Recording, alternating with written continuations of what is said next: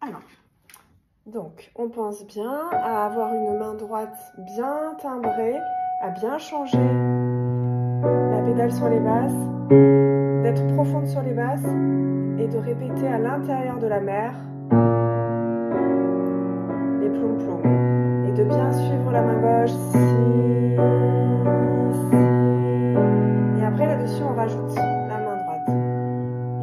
on essaie de bien tenir ses bouts de doigts pour pas que ça se casse la figure.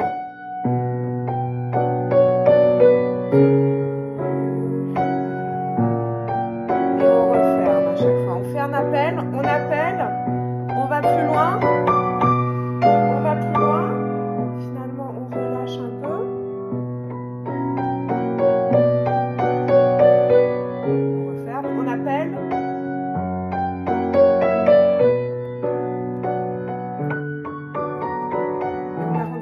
surtout dans ces petites, euh, ces petits passages. Ça, tu peux la tout. Ensuite, il faut bien sentir les trois temps de la valse. 1,